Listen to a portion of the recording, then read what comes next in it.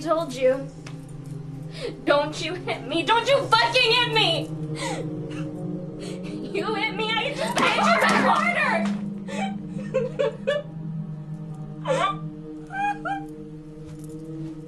It's It's your fucking fault.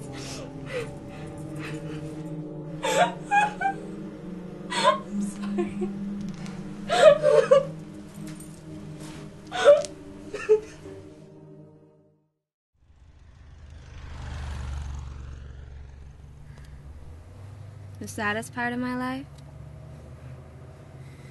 the saddest part of my life. I would think it would have to be I don't know who my dad is. I don't know him. That sucks. My dad's the only thing that keeps me going sometimes. What's he like? He's uh he's witty. Strong, kind of quiet. he has this uh this deep bellowing laugh.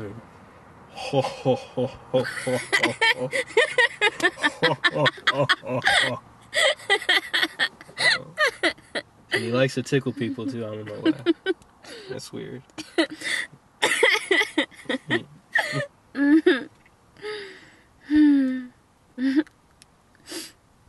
so, what does your bellowing dad do for a living? he uh he drives a truck. Driving trucks for, for 20 years now. Yeah. Uh, he's getting ready to retire. Well, that's cool. Mm, not really. His boss is a dick.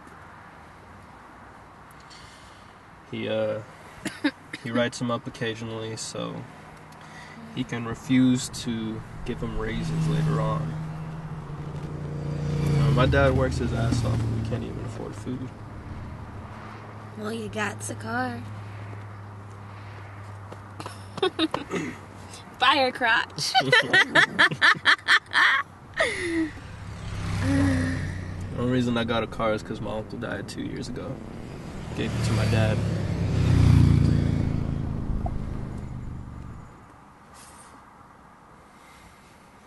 Mm, My dad told me I need to get a job, help pay for the bills.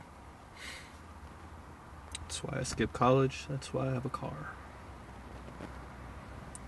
Hey, you want to know a secret? College sucks, anyways.